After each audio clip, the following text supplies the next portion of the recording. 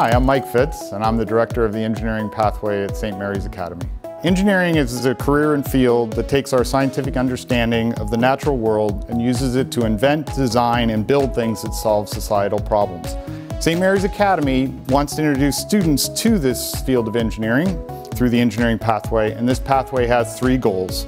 First, the pathway introduces students to the excitement of engineering through project-based learning. Second, the pathway strives to provide exposure to engineering professionals. And finally, the pathway provides a rigorous education in high school for success in college.